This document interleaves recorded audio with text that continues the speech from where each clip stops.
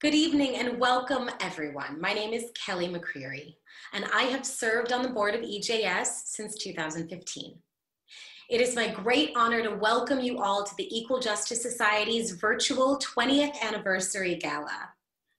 In the past five years, I have borne witness to the growth and greatness of EJS as our organization has fought for the rights of students of color and students with disabilities, women, and people of color throughout California and the United States. Celebrating the 20th anniversary of the Equal Justice Society becomes more and more significant with every passing day. 20 years ago, the Equal Justice Society's goal was to put the issue of race back on the table. Tonight, we look back and recognize the successes of our last two decades as we continue pushing forward race conscious remedies for discrimination. As we look to the decade ahead of us, our path may seem daunting, but united in solidarity, we can achieve our vision of a just future with opportunities for all. This evening, it is my pleasure to invite you to forget the outside world for the next hour as you sit back, relax, and revel in the mastery of Marcus Shelby and his musical collaborators as they perform Harriet Tubman through the eyes of children. The performance will be followed by a question and answer moderated by board chair Michael Harris, Marcus Shelby, and EJS staff members Mona Tawatao and Chris Bridges. Thank you for being here with us. And now I'll hand it over to my co-host, Renel Brooks-Moon. Thank you so much, Kelly. Good evening, everyone. I'm so thrilled to be with you tonight. I'm Renel Brooks Moon, the voice of your San Francisco Giants at Oracle Park. Now, before we begin, I'd like to share some special features that we have implemented to make this evening feel more like a community event even though we're all watching from the comfort of our homes. You can follow along with the chapters of the musical performance by clicking on the program tab on this webpage. Or if you're watching on YouTube, sections are listed in the description. You can join the conversation with live comments about the performance by entering your comments and questions in the Join the Conversation box below the performance screen.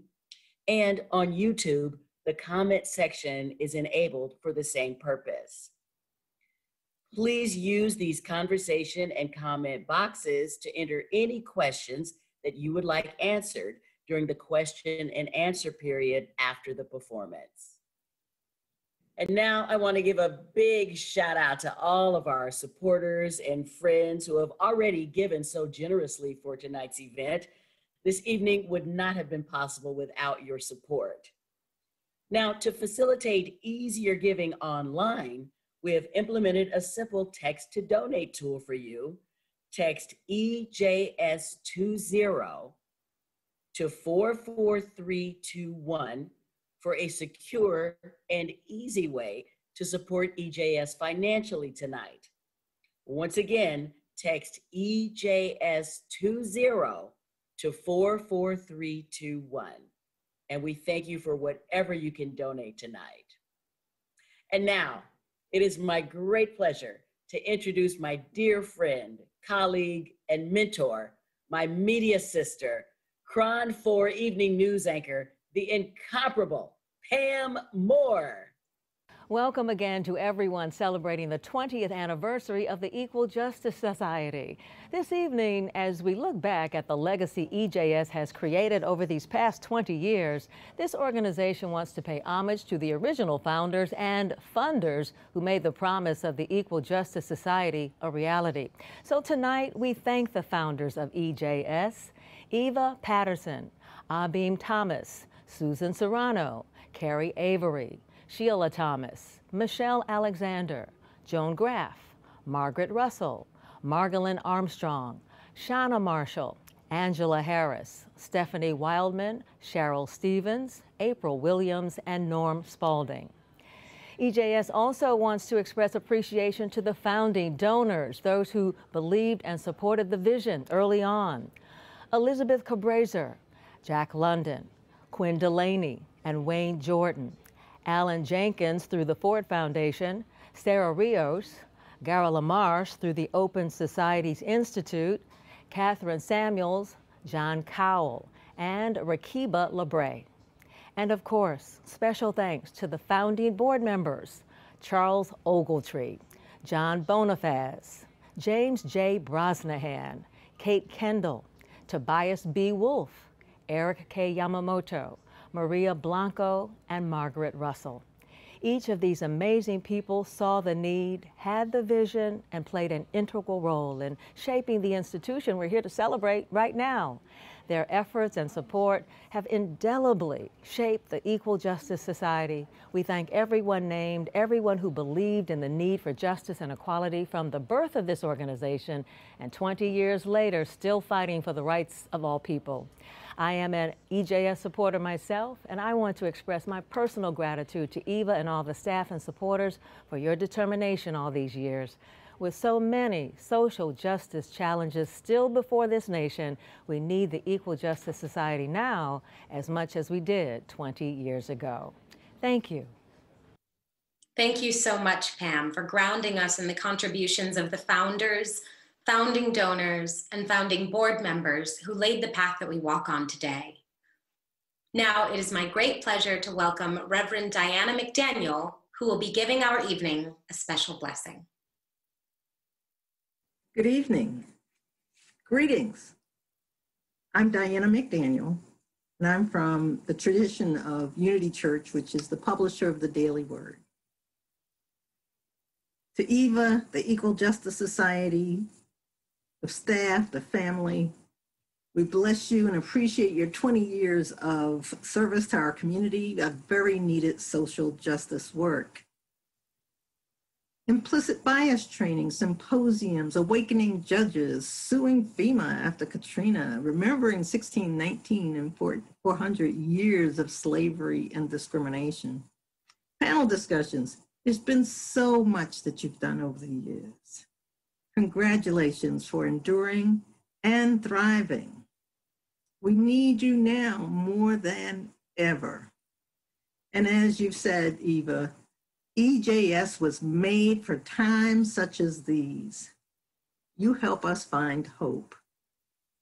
There are many of us here from different traditions, different faith traditions, from different cultures, and I invite you to go within to that special place within yourself where you meet the divine within you, where there is love and where there is peace.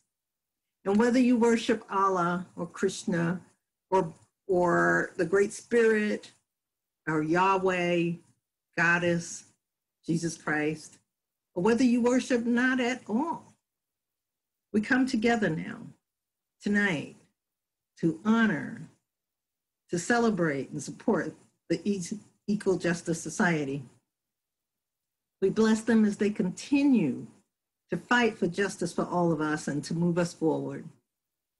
So, would you join me now your hearts and minds, we join together no matter where you are in the sense of loving community and caring and in creating the beloved community.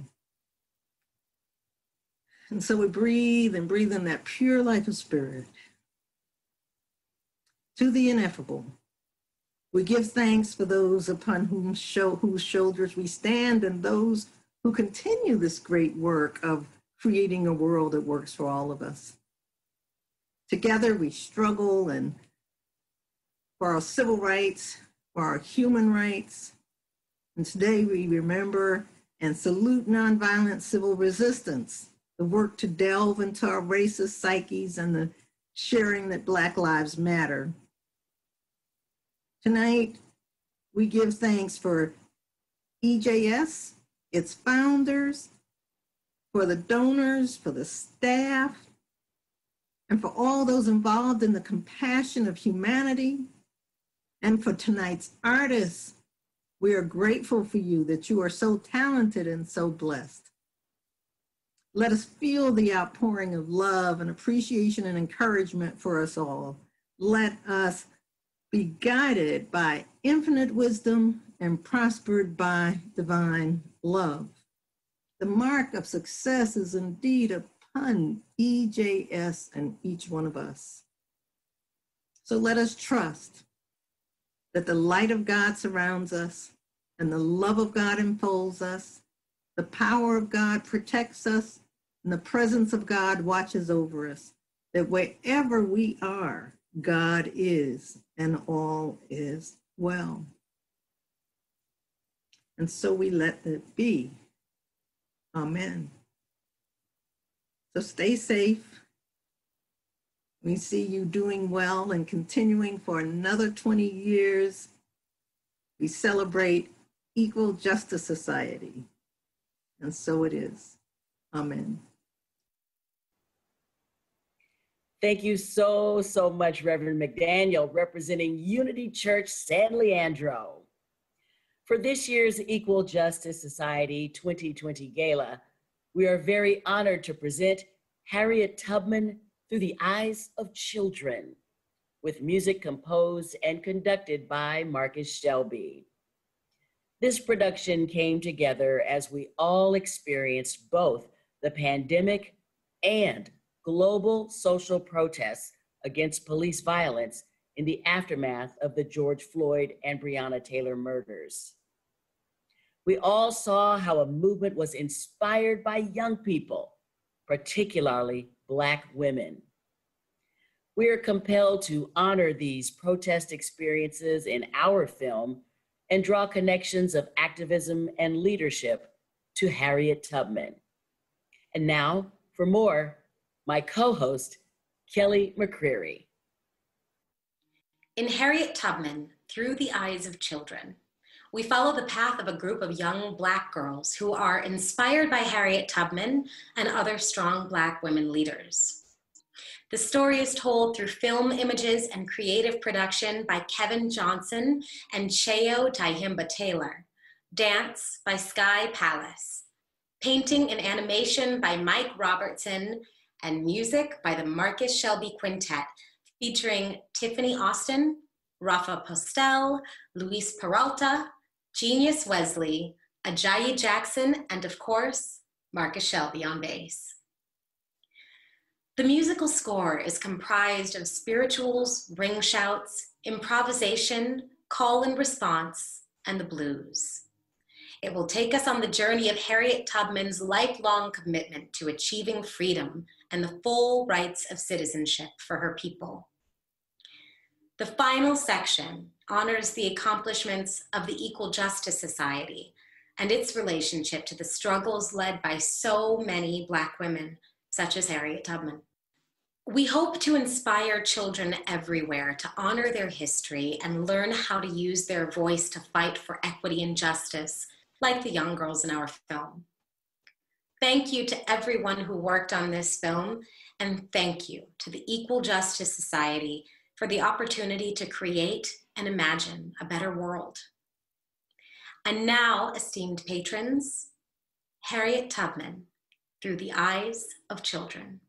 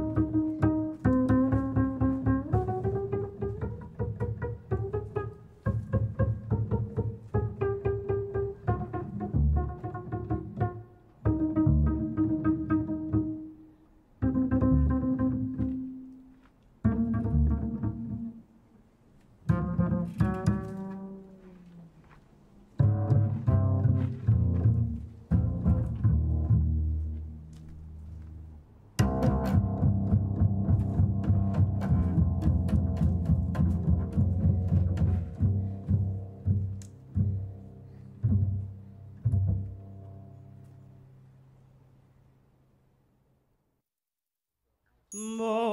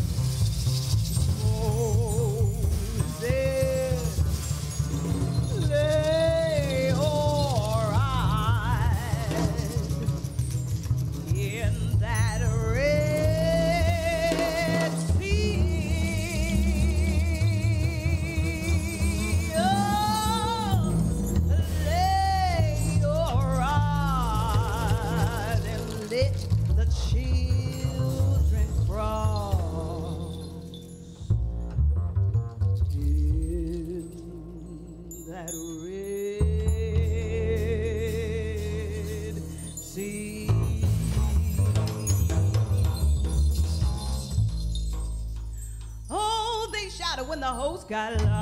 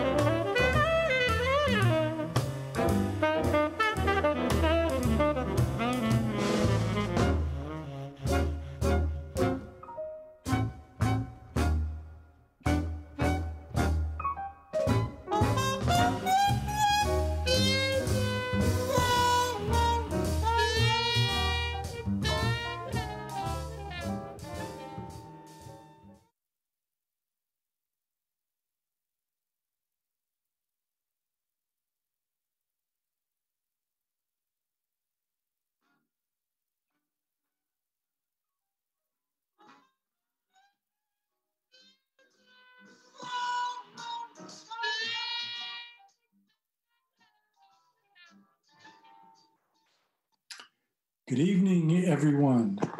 Uh, thank you for joining us for EJS's 20th anniversary gala. We're so happy you joined us. We have a distinguished panel that we've assembled to answer questions. And so we're going to move into the uh, question and answer phase. I'm joined on this panel. I'm Michael Harris, the chair of the board of EJS. Uh, thank you for joining us. I'm joined on the stage. 20th anniversary gala.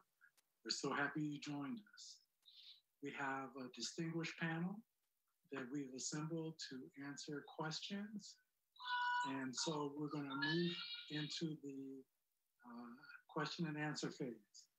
I'm joined on this panel. I'm Michael Harris, the chair of the board of EJS. Thank I'm joined, I'm joined by Chris Bridges on the staff of EJS, as well as Mona Tawa, who's on the staff as well, who will be available for our questions, and the distinguished composer and performer who you've just enjoyed an hour's worth of his composition and performance um, that was spectacular um, Marcus Shelby.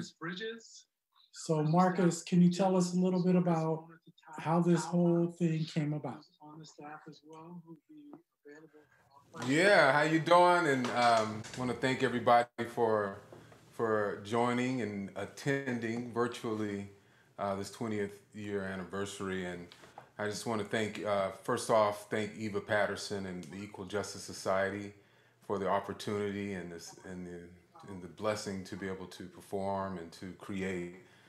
And I'll just quickly say that um, originally, you know, before the pandemic and the shutdowns and the sheltering in place and all the the, the ways that we had to sort of um, protect ourselves in public, we were originally going to do a live performance with my big band and four different singers and um, and pretty much do a straight performance um, but when we discovered that it was highly unlikely that we were going to be able to perform live and that we were going to have to, uh, we weren't even sure if we were going to be able to do a live stream with no audience. We were kind of not sure. We were just sort of in a wait and see.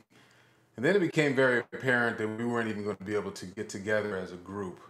So um, we had to do what we always do, and, and one of the themes of of I Know Eva Paterson is uh, improvisation. Uh, it's a big part of who we are as a people, and it's to come up with creative ways to still um, create, uh, even with challenges.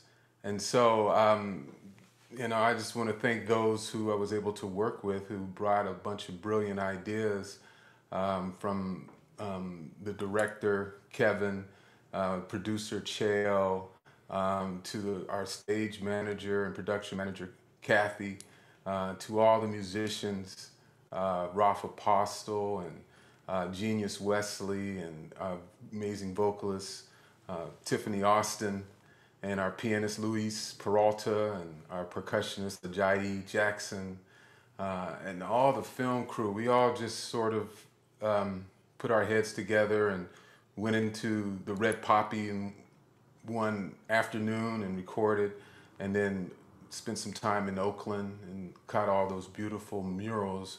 I wish I knew everybody's name that had created those murals. Um, and also a backyard in Oakland with our dancer, Sky Palace. So it was a, a very much a multi-artistic collaboration between music, dance, film, um, and visual art. Oh, I, and I failed to mention our amazing, brilliant painter, and and the animation that captured uh, the history of EJS and our and our powerful black women there in our last section. Um, and so we're very thankful to Michael Robertson, who was the painter for that. So um, it um, we didn't start off with this idea, but uh, I'm so happy it came out the way that we did because our, our universe grew. We were able to include a bunch of beautiful children, uh, including my own uh, Kennedy Shelby, and all the other beautiful young uh, girls who were part of this production. Okay, we have a question. Um, so this one is for um, Mona and Chris. And the question is, what are the three big things that you are working on at the moment at EJS?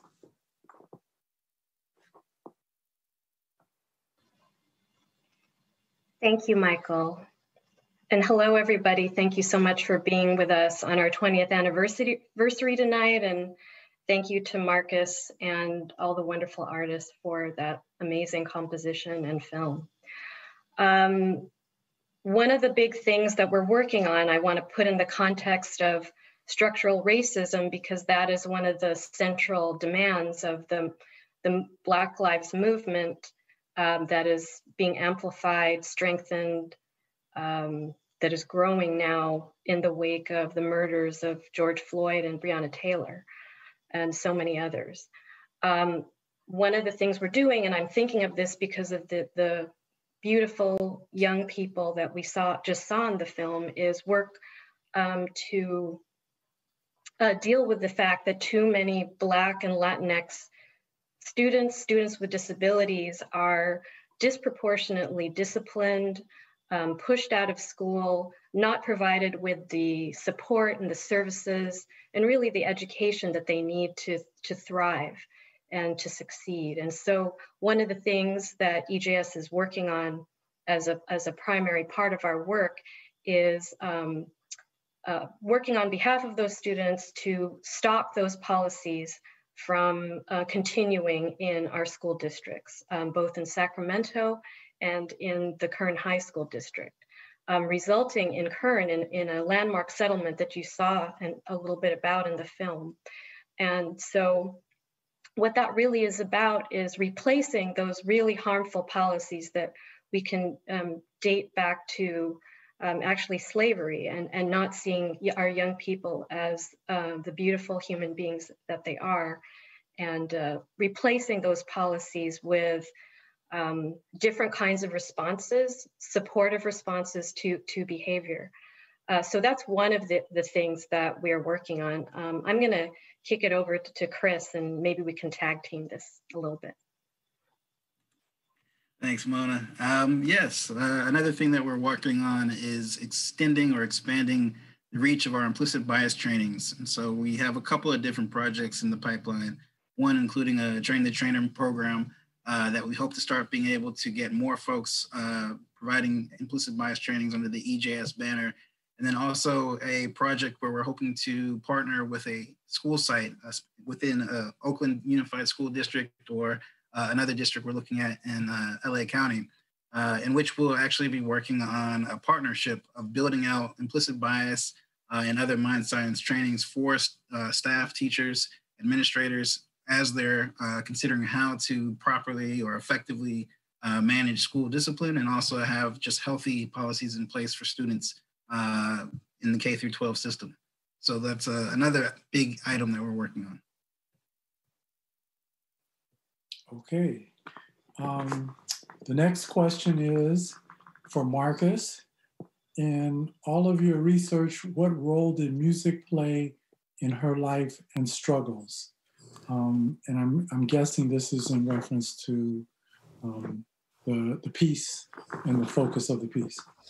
Okay, thank you for that question. Yeah, that's a that's actually a very good question because um, this is what attracted me to you know, try to write music about Harriet Tubman. Um, my mom gave me a book when I was like nine years old called Harriet Tubman, Moses of Her People. It was one of the first books written about her life. Um, and it was commissioned by someone who basically gave sort of a pop uh, culture rendition of Harriet Tubman with a lot of exaggerated facts and some really salty language but it was really the only account of her story that was written down. And then, you know, since that time, we're talking over 100 years ago, um, there's been much research done, new research. And there's a book that was written by Kate Clifford Larson that I read uh, probably like 15 years ago. And it took me back to Harriet Tubman's story. And mainly it was that she did use uh, music. And when I say music, I'm mainly talking about spirituals to communicate. And she used them in different ways. Um, and many of these spirituals had double meanings, double entendres. Um, it's all sort of the foundation of all black music, which is founded on the blues. And within the construct of the blues, um, you have many ways of one can express themselves, express their how they feel. Um, they can hide what they're actually saying in, in some sort of uh, in some sort of creative way. It's the, the blues is actually the thing that allowed Harriet Tubman um, to communicate with those around her. Um, and I just want to read a little bit because when I saw the question, it reminded me of something that uh, Kate Clifford Larson had wrote in her book, and she basically said. Tubman also guided her groups of fugitives by singing spirituals and other songs with coded messages. Uh, if danger lurked nearby, Tubman would sing an appropriate spiritual to warn her party of an impending threat to their safety. When the road was clear, she would change her words or the tempo of the song and guide them on the next, on the next safe place. She paid free blacks to follow white masters and slave catchers as they posted reward notices for the runaways she was trying to help escape and tear down the notices. Absolute commitment was required of all members of her parties. The weakness of one person could endanger the whole group. After first satisfying herself, they had enough courage and firmness to run the risk she would complete her plans for their escape. And so, you know, to me, you know, when I think of music, I think of some of the spirituals. Uh, certainly, Go Down Moses was one that was closely uh, associated with her history and her story because of the similar uh, the similarities. Um, Swing Low, Sweet Chariot had double meaning. Wade in the Water certainly was an important song because it gave you instruction on what to do once you escaped. Um, there is a Balm in Gilead, uh, and many more. Um, and blues shouts, work songs, field hollers, uh, complaint calls, all of these tools, these musical tools, were used for us as forms of liberation. And if I can uh, conclude, I'll say that um, even the whole idea of the blues, um, the, for me, the definition is the pursuit of freedom uh, freedom of melody, freedom of harmony, freedom of rhythm, uh, freedom of sound. Um, and that pursuit of freedom began uh, when the first uh, enslaved African was brought here back in 1619. Um, and so that is the, the source language that Harriet Tubman used. She wasn't the only one. Uh, she was actually she was quite effective though. Okay, thank you for that, Marcus. Um, we have another question for you uh, from the audience. How long have you been collaborating with EJS and what drew you to EJS?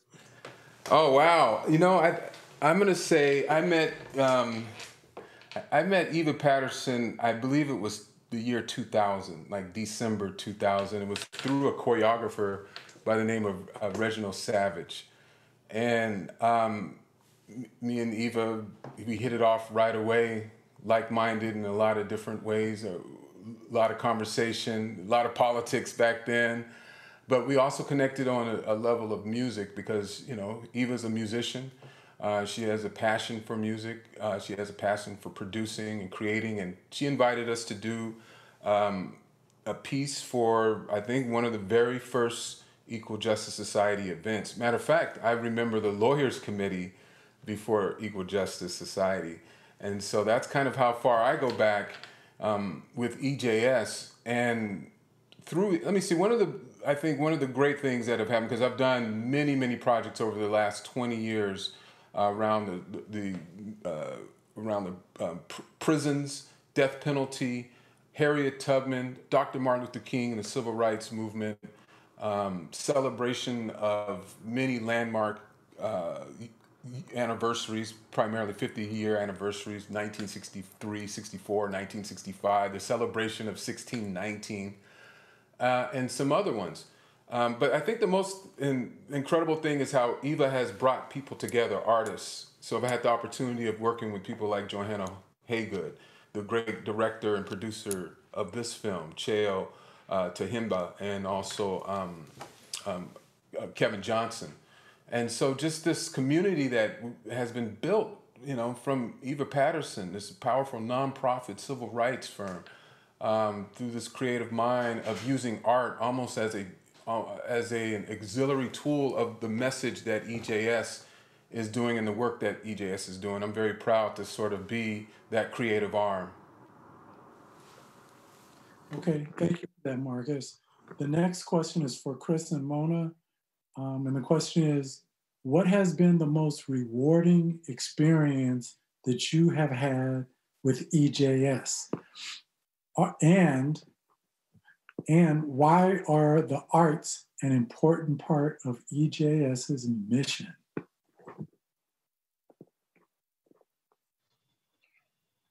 I'm going to uh, go ahead and take that, that second question about why are the arts an important part of, of EJS's mission with uh, and hope that uh, I do right by Marcus and the other artists who are part of this evening. Um, in just in seeing this piece tonight, this composition and the many pieces of it, the young people who are featured in it, it literally, I think, gives us it represents what EJS is, is striving for, um, what our clients have uh, struggled out of and continue to struggle out of. And it, it literally gives us life. And, and, speaking personally as an advocate, I, I was watching and just thinking about, as I said, the um, the young people and, and those are those the, the young people who are featured in the film and the piece represent what we are trying to achieve for, for all children, particularly uh, Black, Black students, young people. Um, and I think about, you know, Marcus mentioned um, being drawn to EJS because what we because of what we do for um, incarcerated people or people who are victimized and affected by the criminal justice system and you know, it, it literally gives us life to and inspired us inspires us to do things like uh, join when Lieff Cabraser asked us to join a lawsuit against the Trump administration for, you know, taking money away, just a, a small amount, but it means a lot to people who are incarcerated and and their families. We know that incarcerated people, their families are are disproportionately affected by the COVID uh, 19 virus and the economic ruin um, that it has both laid bare and also made worse uh, in our Black and Brown communities. Um, the work is is tied to that, and it it reminds us that the, the art that is a part of EJS reminds us of why we do the things that we do, why we joined that lawsuit, um, why we have to care about people who are incarcerated and issues like mass incarceration, um, the themes of struggle and striving for freedom in the piece that we just saw um, fuel the work that EJS does and, and hope uh, you all who have watched tonight can, can make that connection as well. Yeah, I would add uh, the art is incredibly important as well because I think in terms of being able to communicate and appeal to different audiences universally, I think art provides a universal language uh, that's far better, far more engaging, far more useful in certain contexts than the law, for example. Um, and so it can be incredibly challenging and hard working uh, in the legal profession and trying to communicate to folks who may or may not share your opinion, may or may not share your legal theory or uh, any of your experiences um, that are forming some of your legal thoughts and, and your positions. Uh, but when you look at the art, you look at the, the, various projects that we've been able and blessed to do uh, with Marcus and other folks, other performers, um, the, their ability to communicate a story, to communicate a narrative that often is not shared uh, in public pl- platforms or, or in national news, for example, uh, is amazing. And it, it strikes at the heart and it's beautiful and it's it's therapeutic and refreshing, uh, certainly to myself and, and, my soul, and I'm sure to others, uh, because it's able to share stories that we often have to walk with in silence. Uh, it's able to communicate ideas, thoughts, um, history that we often are not taught or not shared with us in various stages of our lives. Uh, so I think the art is incredibly important, and that's one of the biggest gifts and blessings of working at EJS is um, having Eva Paterson uh, leading this this ship and being so such an adamant proponent of infusing art with uh, our legal practice. Um, in terms of the most one of the most rewarding moments of working at EJS, I would have to say is uh, Eva's idea of having a shut up and dance party And not the immediate past one, but a couple of ones ago when Jeff Adachi showed up in like a b-boy outfit and was dancing in the middle of the in the of the club, so to speak. Um, that's one of my favorites because all of us who work at EJS would be doing this work regardless of if we were working at EJS or somewhere else. Um, this work is something that we have to go home with every day, something we have to struggle with every day, something we have to reflect on every day. And having a moment where we decided as lawyers or people in the legal community uh, to just stop talking about law, stop talking about all the stress and pain that we have to carry each day, um, and sometimes the, the secondary stress that we carry for our clients who experience things way worse than we do. Um, being able to put that aside for one night and join in fellowship and just party and dance and not talk about politics, not talk about our struggles, but just have a moment of joy. Um, and certainly for me personally, finding moments of joy, both in my experiences and just in the world today and, and of years past, has been a, a significant challenge. So I'm just appreciative of um, EJS. I'm appreciative of Eva uh, having the foresight and the love in our heart to even want to put that on and then allowing our staff to be able to assist in doing so. And just thankful to all of the legal community who came out and supports us in those functions, in these functions, in our galas, um, all over, because it definitely does take a community to be able to really rise above the challenges that we face uh, day in and day out. And it's beautiful to see such camaraderie and collaboration and just uh, those those moments of joy. Okay. I want to jump in and oh sorry just to just quickly share my because I didn't get to share the rewarding experience and I, there's been so many that it's hard to think of uh, which one to, to talk about but one uh, that is particularly rewarding was um, all of EJS staff was gathered around our, our laptops in the middle of our day when um, what was then AB5 uh, passed out of the legislature. Uh, and that was, it's now uh, Prop 16, uh, the proposition to ban, uh, to, to uh, restore affirmative action in California. And um, to see and, and to all be, you know, texting each other and see, knowing the hard work led by Eva and our partners on that, knowing the hard work led by so many, that so many people on our staff have contributed to and to see that vote come up on our screen and know that it was going um, to the governor's desk who had already endorsed it and knowing that it was going to be uh, knowing that as it is now um, prop 16 on november's ballot was just a, a, real moment of coming together and, and celebrating um, one of the victories along the way to what we hope will be and, and know and are confident will be um, a, justice in in November. So that was a very high point for me. Okay, thank you, Chris and Mona. Um, we have another question for EJS staff. The question is, can you explain the intent standard and the disparate impact standard? I saw the reference in both of the, uh, reference to both in the film. And I guess I would add to that question, why does EJS want to destroy the intent doctrine?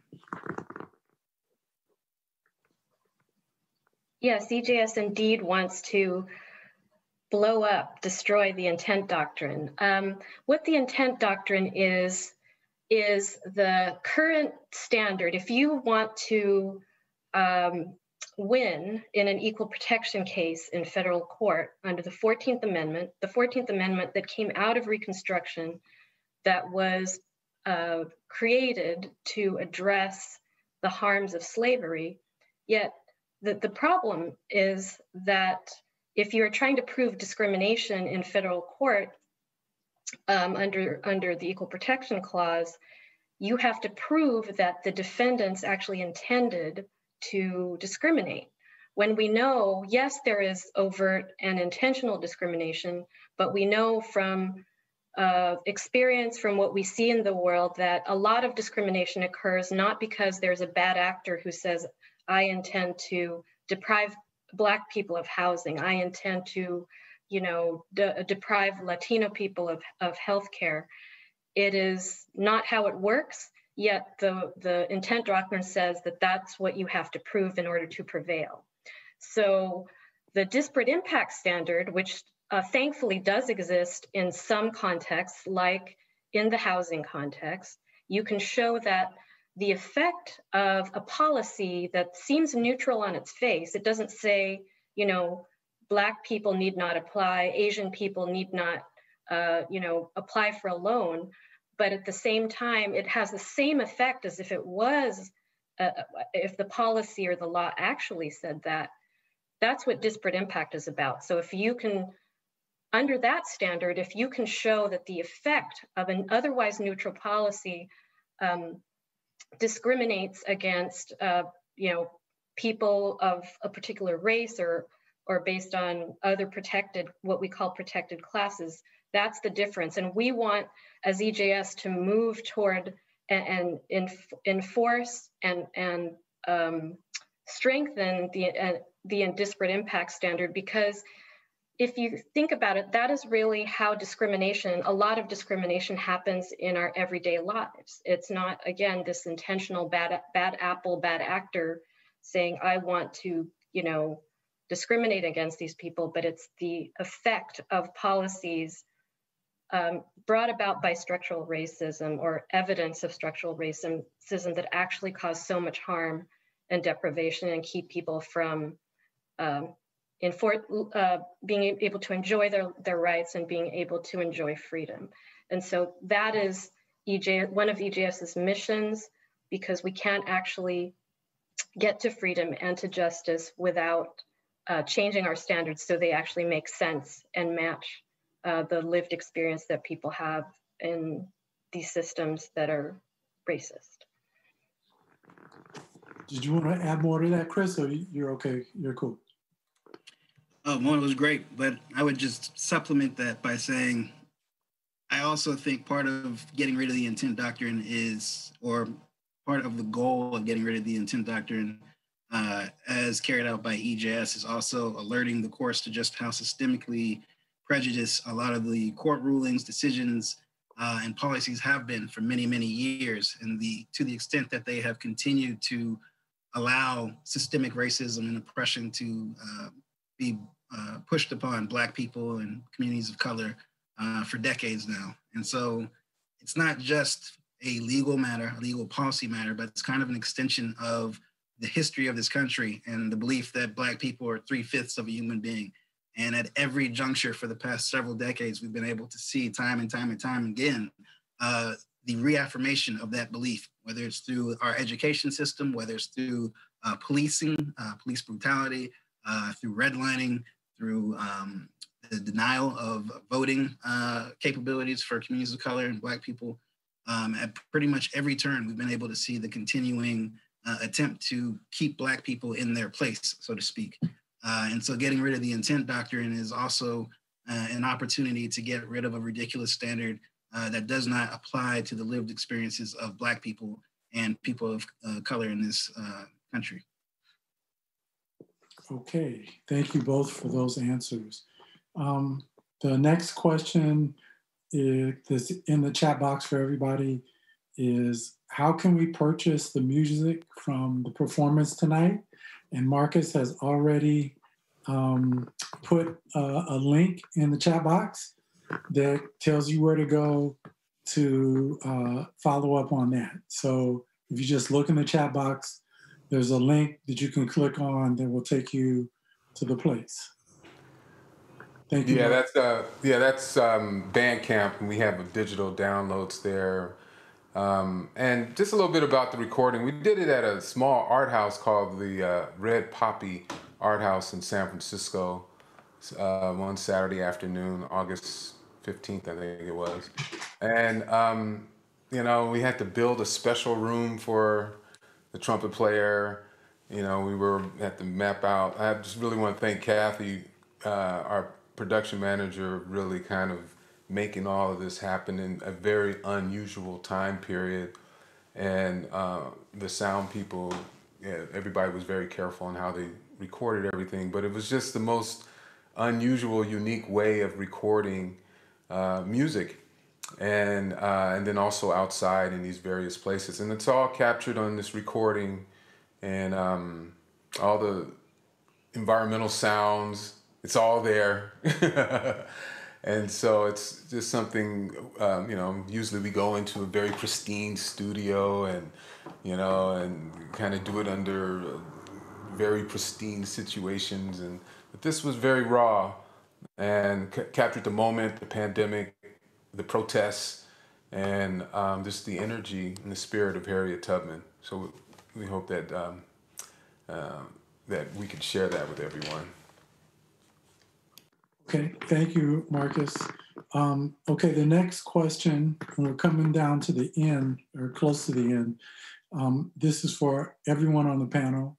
And the question is, what is the one thing that you think contributed to EJS making it to 20 years?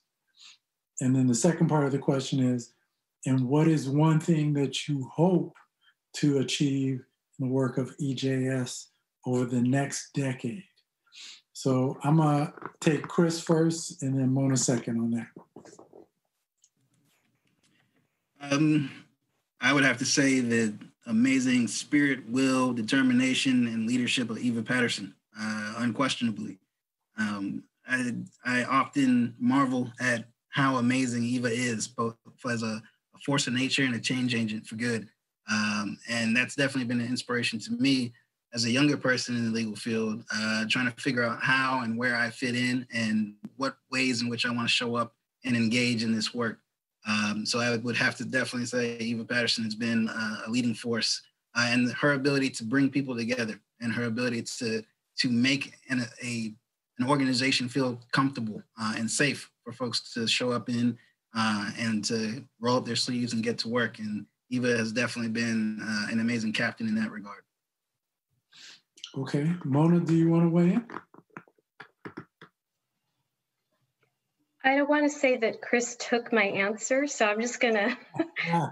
although I am saying it, um, but I'm gonna add on to that. And it really is about Eva, but I think Eva would be the first person to say it's not about me and one person, but it still is about Eva. I was thinking again back to the um, the film and the piece that we saw where it says she is, and it talks about it, it represents uh, the foremothers uh, the young young people are leaders of now and the future and, and eva kind of in the middle and the center of it and so it's it's eva but it's all that that kind of connection and that spirit represents.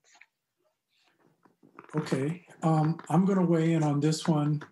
Um, since you guys took the first part of the question i'm going to weigh in on the second part.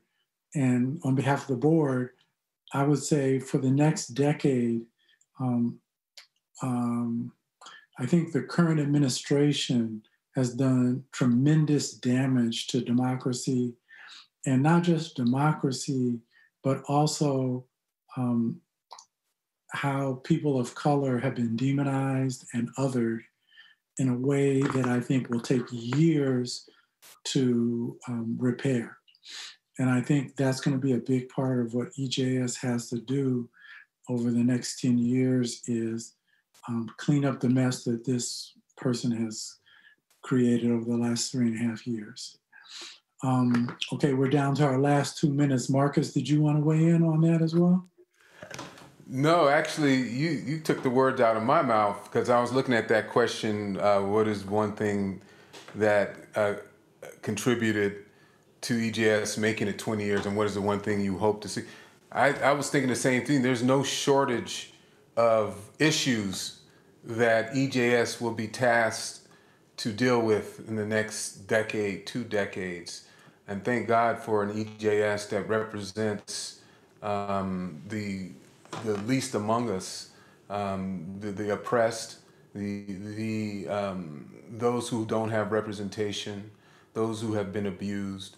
Uh, and so I was thinking along the same. There's not going to be a shortage of issues that EJS is going to have to tackle, and and there's there's been more added on over the last three years, as we know, and you know it doesn't. In, in some cases, even when we we do have the right leadership, there's been so much years and years and years of damage uh, that um, whether it's in education, government, what whatnot, that EJS is needed more than ever.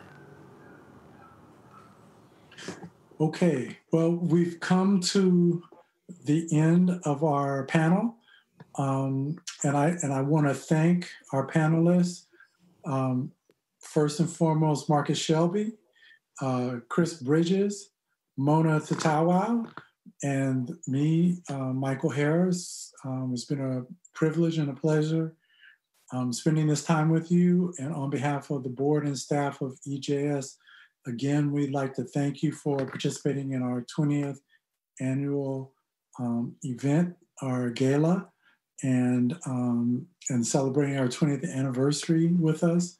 Um, and so, thank you so much for joining us. We really are happy you were able to do that, uh, and we're so grateful.